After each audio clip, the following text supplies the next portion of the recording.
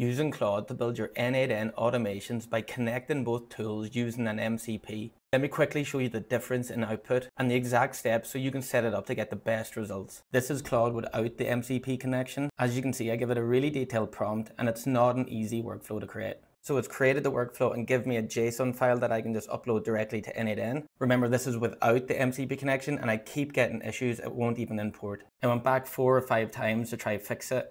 It couldn't fix it and just told me how to manually build it. Now this is the exact same prompt using the MCP connection. So you can see it uses the connection with N8N, looks through all the nodes and how they should work together. Again, it's given me the JSON file to upload to N8N and look at the difference in results. This is from one prompt. It detects if it's a voice or text, it finds out the intent and it sends the intent in different direction. The difference is incredible. This will save you time on your initial setups. Sometimes there is a node or two broken, so you need to know how to fix those. But in general, it's going to get you like 80% of the way there. I've outlined the steps on how to set up the connection, how to create a project with really clear system instructions that's going to drastically improve the output. If you want those steps, just comment Claude below and I'll share those.